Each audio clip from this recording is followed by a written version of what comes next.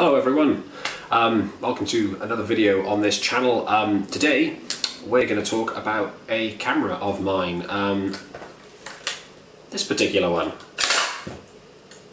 This is my Zenza Bronica S2A.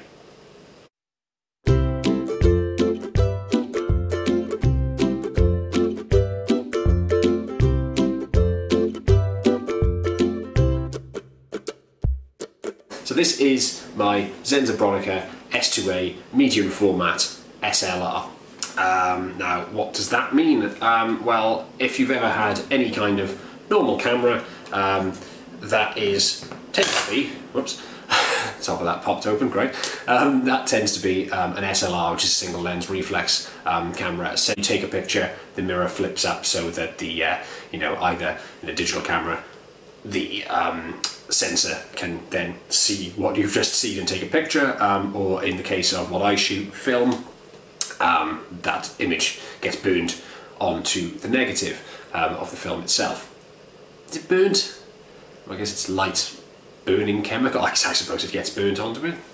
That's what I'm going to go with. But yeah, this is my one. It weighs an absolute ton. Um, it has this, a removable back, in the days before digital cameras, you could take thousands and thousands of images. Um, this would be the way that you'd take more than 12 at a time. I've got two cartridges of this. This one has film in, so I can't show you what they look like inside. Um, I'll show you my empty one um, in a second. And yeah, it just comes apart like this. They're quite modular, to be perfectly honest as well. This comes up as well. You can you can change that out. You can change out the lens on the um, massive shutter, as you can see by there. And um, yeah, that's uh, that's the basics of it. So uh, let's take a let's take a quick look of it um, up close.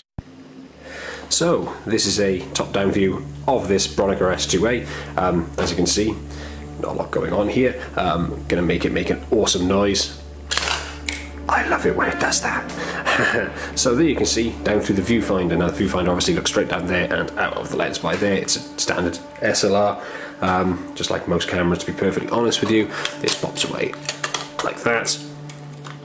It's also got that'll pop out magnifying glass so you can get a better look um, if you're focusing close up. It's ground glass lens. Um, it's really bright actually. It's a really really bright viewfinder. Um, this keeps popping up which is infuriating. but um, yeah basically this bit on the back here which I'll show you now. This is the um, cartridge itself that you put the film in. Um, essentially it pops off like that. As you can see there's the shutter there. So this is the film cartridge, dark slide by there, uh, film counter on the side by there, you probably can't see this very well, but uh, there we go, because the camera is awful at focusing. There we go! Okay, we'll just pop that back on the back of the camera like that. Cartridge opens up, little button up there, like that. This is where you load your film. This pops out like that, as you can see. Film goes on the bottom there, you move this reel up to there and you just wheel it around like that. Then you pop back in. Anyway, on this side, you've got frame counter down the bottom there. Um, this bit at the top, I believe it can shoot either 120 or uh, 220 um, film on these cartridges. I've never shot 220, so I, I don't know how it works, but um, I think that's what that button by there is. This bit by here is the film wind. It pops out. It's a very satisfying noise, isn't it? to be perfectly honest. Um, so that's that side. Other side by here. If that focuses, there we go. Uh, this is the focusing uh, knob. Um, oh no, it isn't. That's not the focusing knob. What am I on about? that is the shutter speed selector. Don't try focusing with that, that's the shutter speed selector. Um, it goes um, all the way from bulb uh, down to um, one one thousandth of a second. Um, I will fire the shutter in a minute and you can hear just how loud this is. It's, it's like a thunderclap. It's a really satisfyingly loud noise, um, but at the same time terrifying. Uh, other bit on this side is this. This is the dark side. Uh, dark slide, sorry. So out like that. Essentially, this slides in here to stop your film being uh, exposed. You can't take a picture with the dark slide in. You have to remove it in order to take a picture. Uh, the, the mechanism will not work with that in there, which is a really good, really good thing, I think. To be perfectly honest with you, you don't want to take, pictures accidentally in your bag. To take it off, you push the dark slide in. There it is by there. Basically, as you can see, it just slides out, and that'll be where the film is. Exposes to the shutter. The lens I've got on this is a 75 millimeter um, Nikkor uh, f2.8. Um, it'll go to 22 to 2.8. Uh, the apertures on that, and yes, um, you did hear me right. It is a Nikon lens.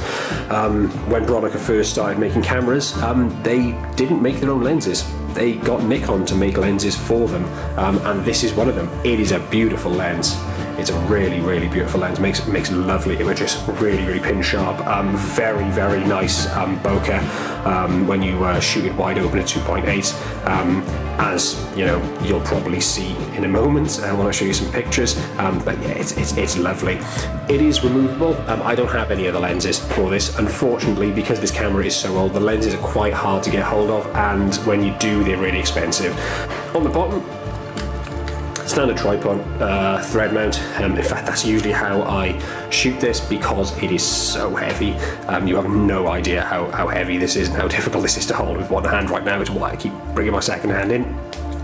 Focus is on the lens there. Comes nicely out, there you go. Um, and it's got um, uh, the aperture ring by there as well. Um, so yeah, um, that is the Bronica S2A final thing I'll do um, while showing you this is uh, fire the shutter so you can hear it. So fire it without filming, we've got to take the back off. Shutter button is just on the front down here. Listen to the noise of this. How satisfying is that? The observant among you may notice that I've moved the camera. I went to film something slightly different and then realised, oh, I forgot to do this bit. Yay, standard. Um, these videos are very poor quality, as always. um, yeah, so that is my um, Bronica S2A. Um, now, probably makes sense to take a look at some of the photographs that I've made with it. So um, yeah, stick about, we'll, uh, we'll have a look through some of those.